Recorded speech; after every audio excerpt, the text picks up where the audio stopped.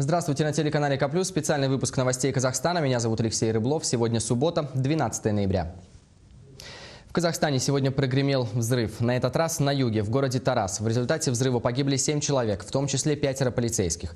Уже возбуждено уголовное дело по статье «Терроризм», но вначале поступала противоречивая информация. Сообщалось об ограблении оружейного магазина. В субботу около часа дня такие молнии стали появляться на информационных лентах. Журналисты ссылались на очевидцев произошедшего. По данным Костак и Казинформ, в Таразе произошло 4 взрыва. Как передавали агентства со ссылкой на источников правоохранительных органов, все взрывы произошли в центре города, недалеко от здания областного КНБ возле ЗАГСа, на центральной площади около магазина «Отрар», недалеко от областного Акимата и возле центрального гастронома. Еще один взрыв удалось предотвратить, сообщал Казинформ. Между тем, как пишет газета «Время», все, все эти взрывы, возможно, были спланированной террористической атакой. В городе началась паника, центр Тараза был перекрыт правоохранительными органами. Очевидцы рассказывают, что слышали стрельбу и взрывы, а над Таразом баражировали военные вертолеты. Вот что нам рассказал в интервью очевидец произошедшего Асель Керимбай.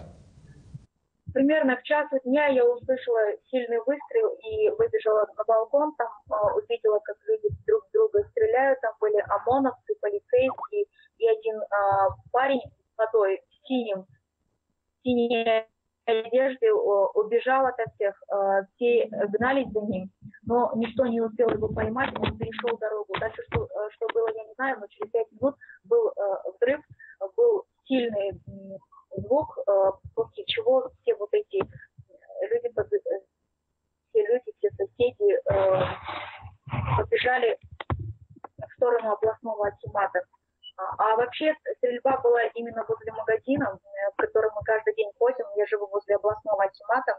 А, и поверь, по словам полицейских, соседей, вообще а, тех, кто а, были именно в этом месте, говорят, что он жил именно в этом доме, но в другом подъезде. Данные о числе погибших и пострадавших разнились весь день. От официальных комментариев правоохранительные и местные исполнительные органы отказывались. Во второй половине дня пресс-служба МВД подготовила, наконец, пресс-релиз, в котором сообщила о пяти погибших, в том числе троих полицейских. На первых видеокадрах с места ЧП, которые появились на YouTube, видно тело одного из убитых сотрудников правопорядка. А где это?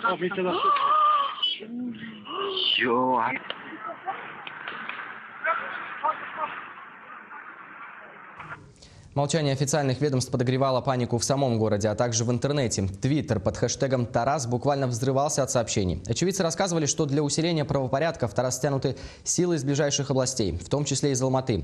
Как рассказал нам пресс-секретарь регистрируемой партии «Алга» в регионе Андрей Сивко, обстановка в городе крайне напряжена. Ну, вообще, знаете, у нас сейчас э, очень стало очень много слухов в Таразе.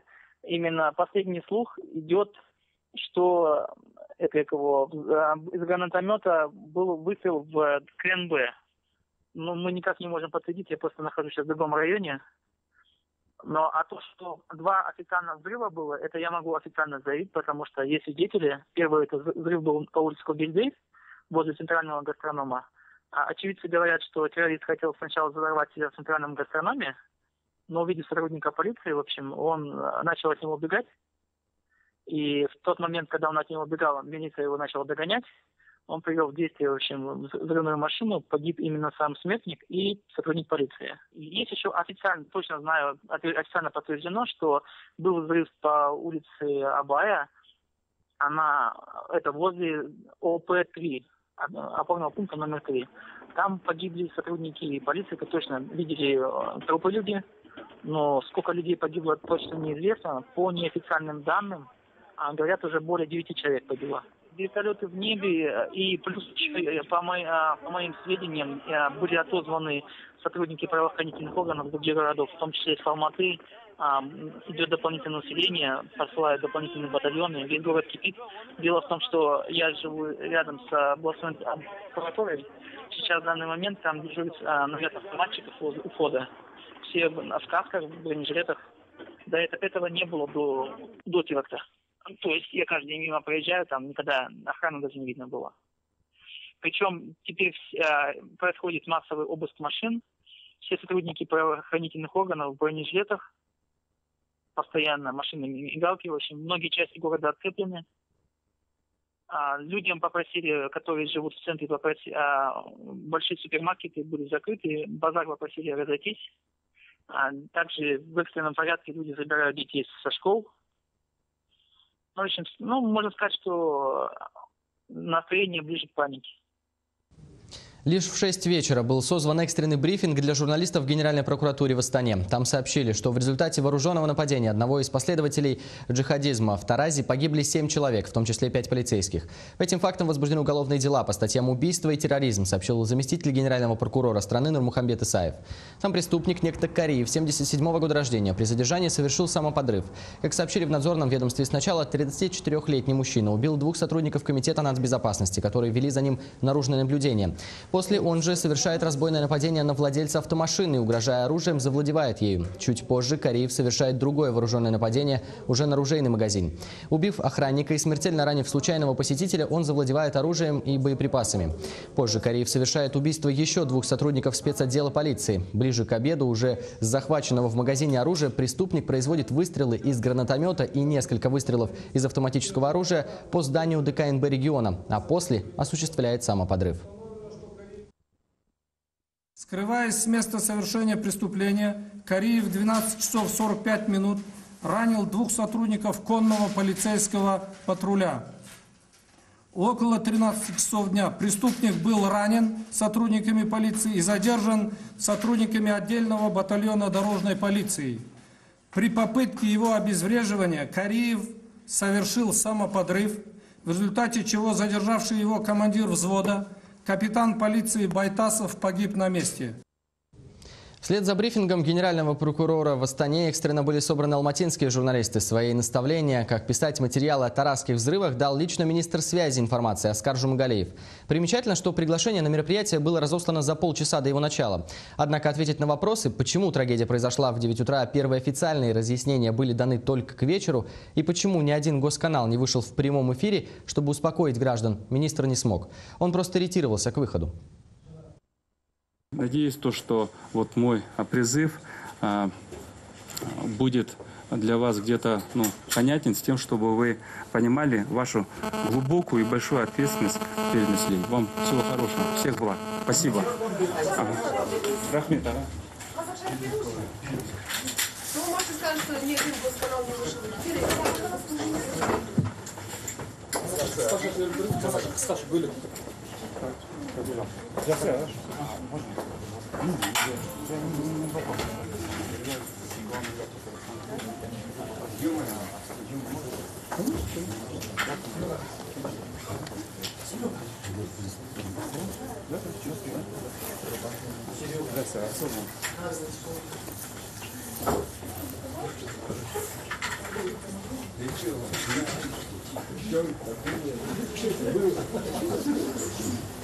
Это сумка Зачем? Прокурор скажет.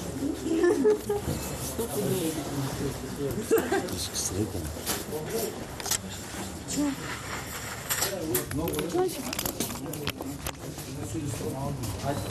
В связи с перестрелкой и терактом в Таразе соседний Кыргызстан готов усилить меры безопасности на границе. Как сообщили Интерфаксу, председатель Госкомитета национальной безопасности Киргизии Кинешбек Душибаев и председатель пограничных войск Кыргызстана Закир Теленов в случае, если ситуация в ближайшее время в Таразе не будет урегулирована, мы усилим меры безопасности, в том числе и охраны границ.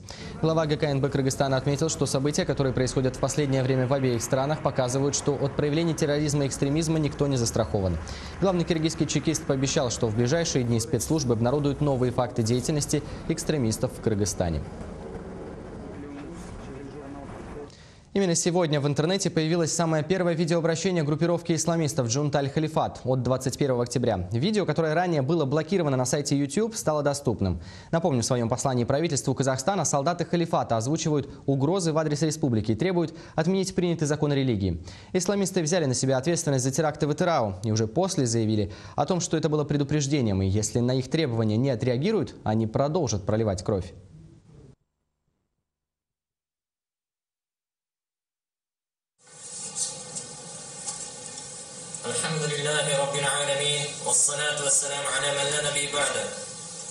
Обращаемся к правительству Казахстана в связи с событиями, которые произошли в Западном Казахстане и с законами, которые были приняты вами, как отмена хиджаба и отмена намаза.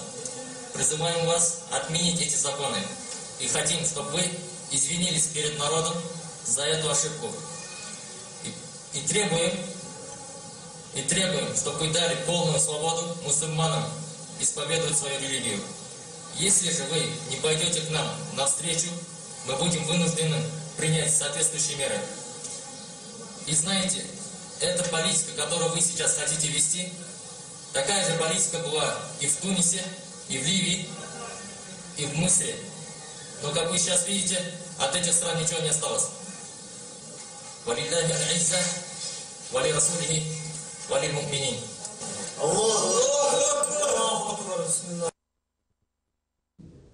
Теракт в Таразе уже второй в Казахстане за две недели и четвертый в этом году. 31 октября, по данным официальных ведомств, смертник Бауржан Султангалиев взорвал себя в городе Атырау. Кроме него тогда никто не погиб и не пострадал. Еще один взрыв прогремел в мусорном баке, неподалеку от областной администрации.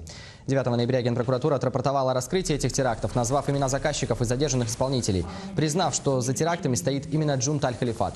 В надзорном органе сообщили, что в числе исламистов группировки трое граждан Казахстана. Идею джихада они вынашивали с 2009 года. К слову, ряд экспертов сходятся во мнении, что солдат халифата не существует, а взрывы – это происки спецслужб страны. Следствием установлено, что данная террористическая группа сформировалась в 2009 году под воздействием джихадистских идей, в том числе погибшего на Северном Кавказе известного экстремистского проповедника Саида Бурятского. Члены группы вынашивали намерения по выезду на джихад за границу. В правдоподобности взрывов в Итырау, Актубе и Астане сомневались ряд экспертов. Известный журналист Сергей Дуванов сделал вывод, что это всего лишь инсценировка терактов. Свои аргументы журналист изложил в статье, которая была опубликована в газете «Республика». По мнению автора, казахстанский режим напуган финалом режима Каддафи настолько, что готов разыграть терроризм по-казахски. Такого же мнения придерживается глава Союза мусульман Казахстана Мурат Телебеков. Он объясняет, в Казахстане еще не так сильны религиозные настроения, чтобы они выливались в террористические акты. Мнимая угроза нужна государственному аппарату для борьбы с неугодными и отмывания денег. Эта странность, на мой взгляд, может быть объяснена тем, что если э, объяснить тем, что данные, данные акции планировались спецслужбами для того, чтобы э, нагнать страху на обывателей в преддверии выборов.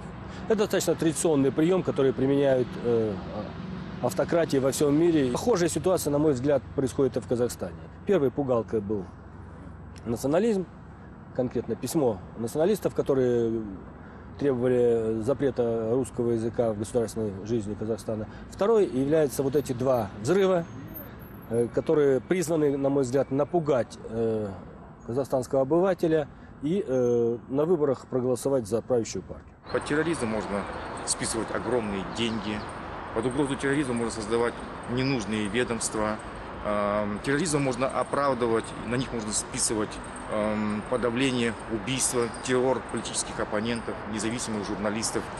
Вот. Используя угрозу терроризма, создавая вот такие мифических врагов, можно консолидировать общество.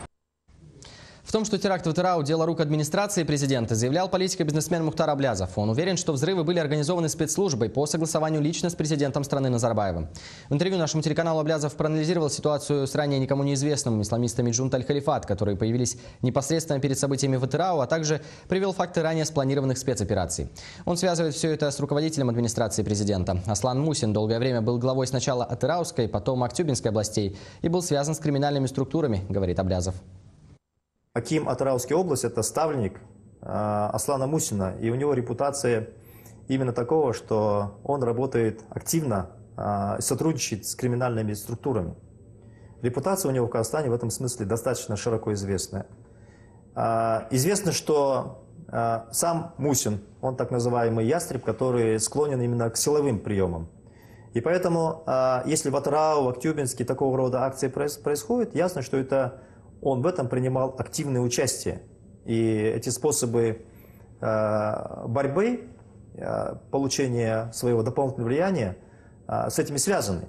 Вот это все, это дело рук администрации президента, потом согласовано с президентом и совместно со спецслужбами, такие как Комитет национальной безопасности. Самоубийство известного политика Заманбека Нуркадилова. Этой версии уже 6 лет. За все это время общественникам так и не удалось ее опровергнуть и довести до конца собственное расследование и доказать, что человек не может выстрелить трижды, один раз в голову сам себе. Сегодня по традиции соратники и друзья Нуркадилова собрались на кладбище Кинсай-2 прочитать молитву и отдать дань памяти. Однако пришли не все из приглашенных. Не было на мероприятии вдовы политика, певицы Макпал Жунусовой, сопредседателя УСДП Азаджир Махана Туикба и Булата Абилова. По телефону они пояснили, что не пришли по семейным обстоятельствам. Есть такое выражение «большое видится на расстоянии». Так вот, чем больше времени проходит, тем больше э, приходит понимание того, насколько это была значительная фигура в истории Казахстана в целом и в истории демократического движения Казахстана. Заманбек Калабаевич умел оппонировать действующей власти аргументированно, жестко. Как ни печально, уже, оказывается, сегодня 6 лет прошло. Но чем больше годы дальше, тем э, острее ощущаешь его нехватку, что он вот в данное время он был очень нужен для народа Казахстана. Ну, если Заманбека э, сказать, например, вот э, микрорайон Думан – Сегодня весь поселок, должен, э, микрорайон здесь должен был быть на ее поминке, потому что он для их делал этот микрорайон Думан. Не один, два, три Думана сделал. Он покойный для их э, всю душу отдал. В Твиттере сегодня в 23.59 по времени Астаны объявили минуту молчания по погибшим в Таразе. Телеканал К+, переносит свои соболезнования родственникам погибших. Пока это все, мы следим за событиями в Казахстане.